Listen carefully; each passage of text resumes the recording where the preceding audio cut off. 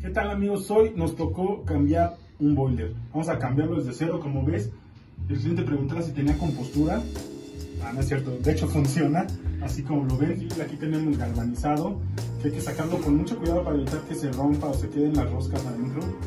Y el gas también está con, con tubo flexible de gas. Y también hay que tener mucho cuidado para gastar lo menos posible y poder cambiar y que funcione nuestro nuevo boiler.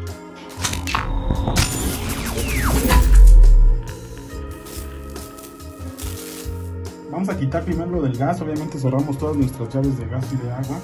Ya quitando esta y vamos a salvar esta pieza que luego nos ayuda porque a veces los boilers nuevos no traen este eh, convertidor, también vamos a, a quitarlo. Después vamos a quitar esto que es de galvanizado de la tuerca unión esperando que no eh, se barra nada se. Okay, ya retiramos el, el boiler viejo, ya fue complicado, hay que tener cuidado ahí porque en este caso se estaba colgando de los eh, tubos galvanizados y vamos a hacer una base y acuérdate que tenemos eh, un presupuesto limitado y hay que aprovechar todo el material que tenemos. Ahorita fuimos a reciclar un poco de este material que teníamos y con esto vamos a hacer la base de nuestro nuevo. Bueno, ahí está la basecita como fue de material reciclado. Pues bueno, así quedó, pero va a quedar bastante funcional que es lo que estamos buscando y ahora sí hay que traer el boiler y posiblemente hay que ponerle una base aquí. Le vamos a poner de algún azulejo o algo también para reutilizar eso. Y además para por la humedad una madera o algo pues se oxidaría bien. Algo muy importante es de que esta pieza se la quitamos al regulador de gas pasado porque muchos la quitan lo tiran a la basura y ya no pueden recuperar esta pieza que es un adaptador para que entren las mangueras.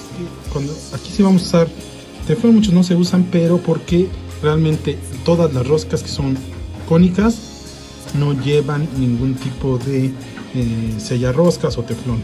Vamos a eliminar este tubo flexible del gas, aquí ya habían tenido una reparación y todo. Por el momento no se va a arreglar porque hay que arreglar desde la bajada, poner una nueva instalación y corregir esto. Por lo menos ahorita vamos a poner una manguera de gas de aquí abajo. Ya sustituimos la manguera, ahorita vamos a hacer las pruebas con jabón. Esa prueba siempre funciona y es de norma, no es de plomerito. O sea, realmente la norma eh, permite una prueba de agua jabonosa. Aquí ya instalé con eh, galvanizado estos eh, niples que entran a estas mangueras que son especial para calentadores que obviamente resisten altas temperaturas y alta presión y vamos a instalarla obviamente la caliente a la fría y la fría a la caliente y la caliente a la caliente y la fría a la fría pero vamos a intentar que las, las roscas siempre no la machuquen las, las mangueras para que pueda seguir. Aquí le adaptamos también porque este es de media y lo de abajo es de 3 cuartos acuérdate siempre los boilers son de 3 cuartos y prepara estas piezas de nipples de 3 cuartos a 3 cuartos y aquí en este caso la reducimos hicimos una reducción a media, que estas mangueras ya vienen así, si no tienes mangueras que vengan de los dos lados del mismo tamaño, pues tienes que poner una reducción de galvanizado, ahí sí es recomendable usar el galvanizado. Estas son tuerca unión que vamos a meter ya directo. Ok, ya vimos el gas, hay que hacer pruebas de con el jabón, ahí tenemos fuga por ejemplo un poquito, prácticamente esa se va a componer apretándola, nada más que como lo estamos haciendo con mucho cuidado, por evitar que se vaya a romper la, la, otra pieza pero bueno en la de acá no tenemos ningún problema. Si se alcanza a ver aquí tenemos bien y ahí sí nos indica que hay una fuga de gas. Como ves aquí ya le apretamos bien pero como la pieza está muy vieja sí utilizamos teflón. No es lo recomendable ni se debe usar pero aquí la rosca está muy vieja por eso le usamos un poquito ni siquiera tanto un poquito de teflón y ya se nos solucionó esa fuga de gas y vamos solucionando. Otra cosa, cuando compras un Calorex, acuérdate que ya tiene encendido electrónico y vas a necesitar una pila.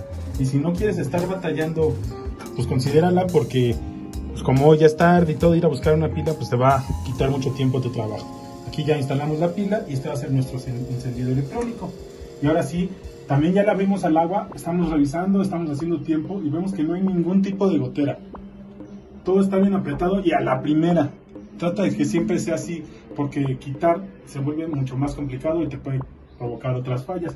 Técnicamente ya está listo nuestro nuestro boiler para echarlo a andar. Ya se llenó, ya cayó el agua. Podemos probar un poco aquí, que ya, ya se llenó. Y vamos a eh, echarle ya el, gas. Ahora vamos a encenderlo, vamos a encenderlo. Y este es nuestro encendedor. En vez de usar un encendedor o un cerillo, pues esto es lo que va a estar dando chispa aquí abajo. Aquí tiene una pequeña ventanita, aquí. Tiene una pequeña ventanita donde se va a ver una flama. No se ve tan fácil, pero tienes que buscarle como el ángulo. Y ahorita le buscamos a ver si la puedes ver. Una vez que detectes dónde está tu piloto, vas a cerrar todo. Está encerrado, está en frío. Y lo vamos a cambiar al modo piloto. Aquí la perilla, piloto. ¿Sí dice piloto? Estamos bien. Vamos a apretar el botón y encender el electrónico. Y va a prender nuestro boiler. Puedes revisar que vemos por ahí una flamita.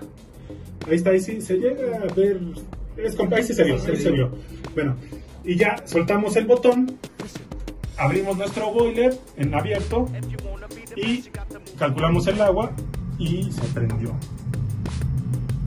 Siempre los primeros días va a oler como a gas, se quema todo ahí que está como nuevo, pero pues es bastante, bastante normal.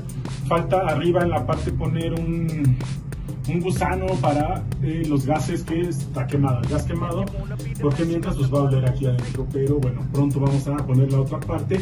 Y en cuanto a lo del gas, ya no cambiamos esta pieza porque acuérdate que vamos a cambiar esa parte, pero bueno, ya todo lo demás nos queda funcional para...